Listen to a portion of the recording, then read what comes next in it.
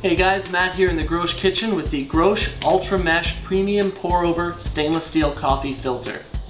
This is a uh, really good coffee filter. It's entirely stainless steel. It's got a contoured bottom to sit securely on any beaker or mug you choose. And it's got the Ultra Mesh stainless steel mesh filter, which is the finest mesh available today. So first things first, we need our favorite coffee mug. And the Ultra Mesh will sit securely on top.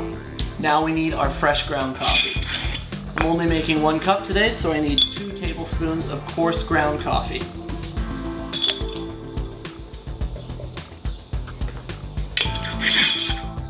Now we need our boiled water. Shake your coffee to be nice and flat, and you're ready to pour. Start with a very small amount of water from the center outwards just to get the coffee to bloom. You go ahead and start pouring in a circular motion, slowly, from the inside out. But because the Ultra Mesh has such a fine stainless steel mesh, the coffee won't go everywhere, it'll run down the inside and drain out the bottom.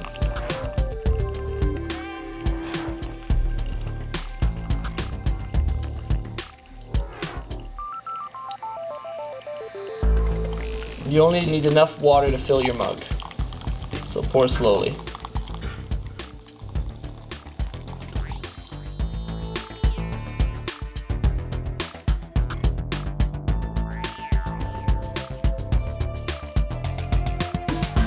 And there you have it. Made a great cup of coffee. Absolutely no grit has come through this ultra fine mesh filter and you're ready to enjoy. You've also created no waste. There's no paper filter.